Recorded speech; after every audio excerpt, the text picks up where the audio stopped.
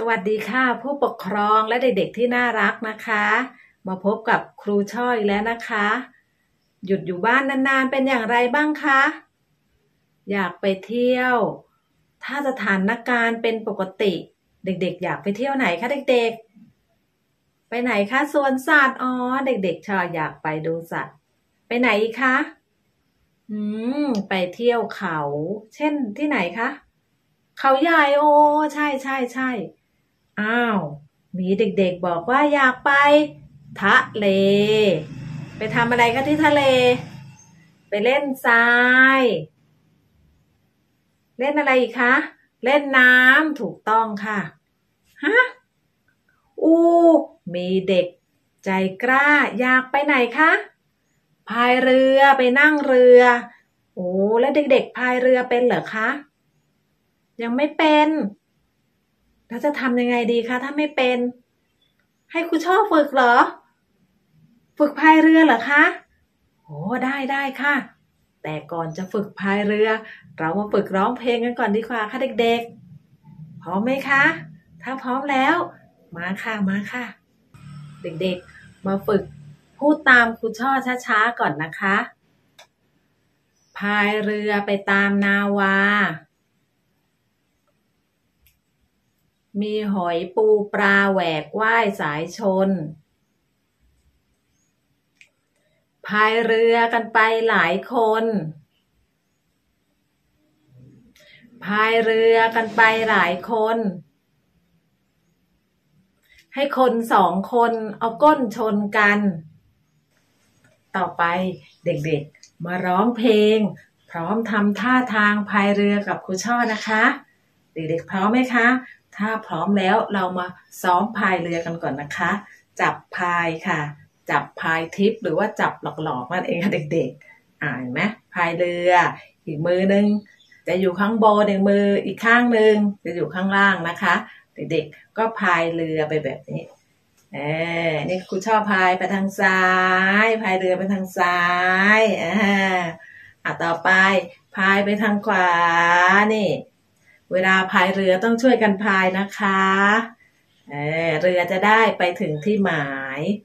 นี่พายไปทางขวาไปทางซ้าย ไปทางขวา แล้วครูช่อบอกว่า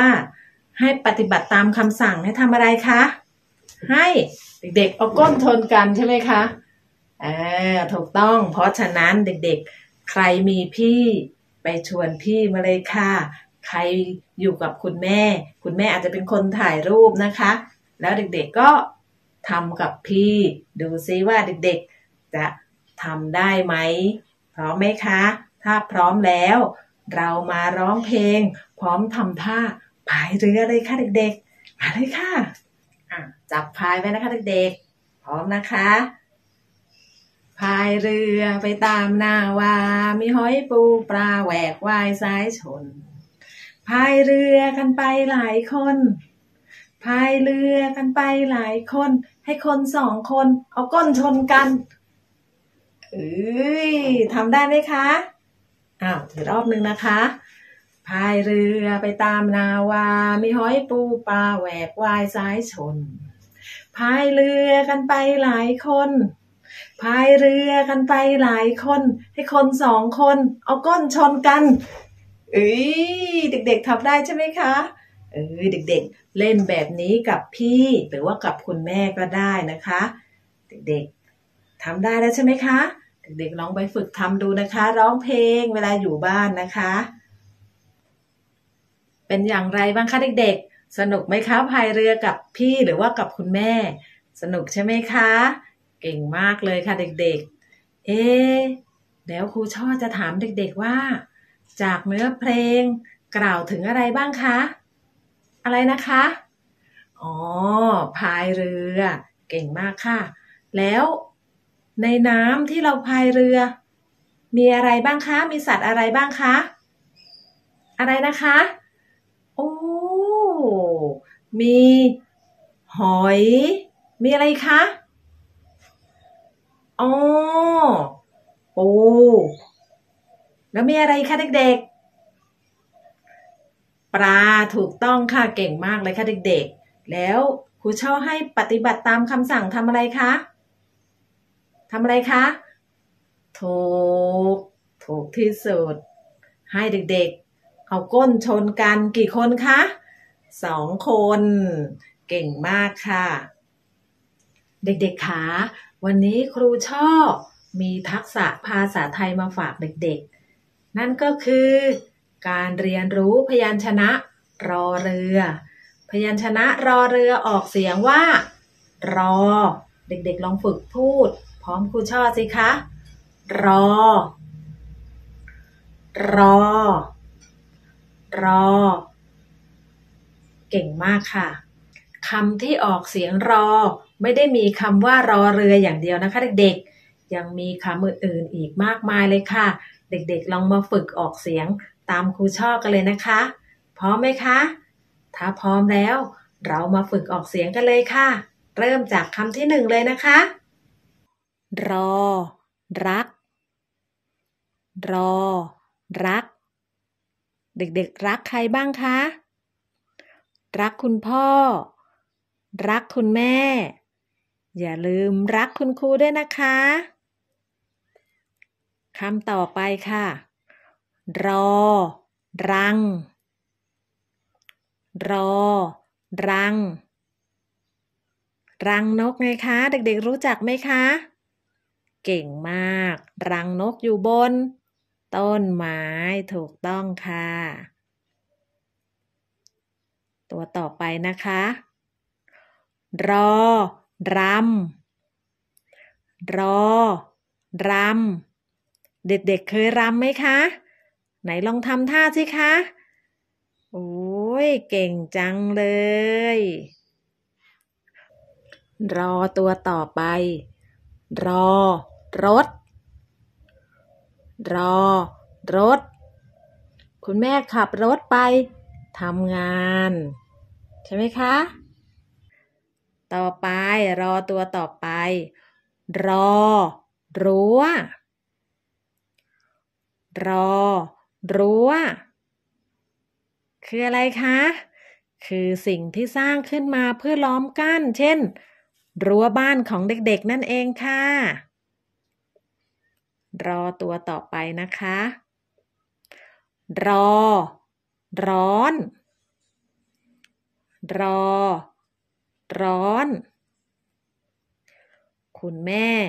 ทำอาหารสุกใหม่ๆกำลังร้อนๆอยู่เลยค่ะ ใช่ไหมคะ ถูกต้อง รอตัวสุดท้ายนะคะเด็กๆ รอโรงเรียน รอโรงเรียน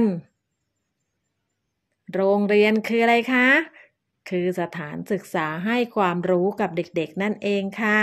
คิดถึงโรงเรียนแล้วใช่ไหมล่ะ เด็กๆ พูดตามครูช่ออีกรอบนึงนะคะ รอ รัก รอ รัง รอ รำ รอ รถ รอ รั้ว รอ ร้อน และ รอโรงเรียน เก่งมากค่ะทุกคน ฝึกอ่านบ่อยๆนะคะ เมื่อเด็กๆ ฝึกอ่านออกเสียงพยัญชนะรอเรือได้แล้ว ต่อไปครูช่อ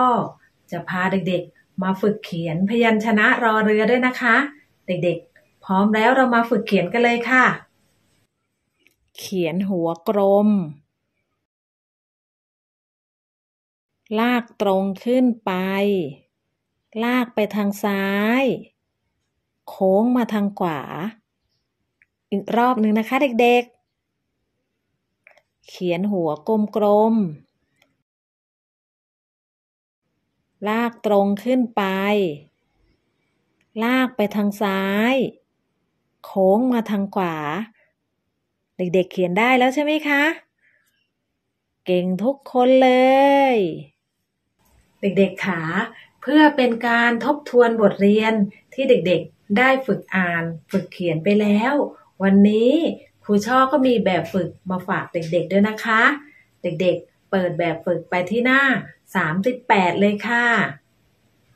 เห็นหรือยังคะ ถ้าเจอแล้วเด็กๆดูให้ดีนะคะ โดยให้เด็กๆเขียนพยัญชนะรอเรือ ระบายสีภาพเรือ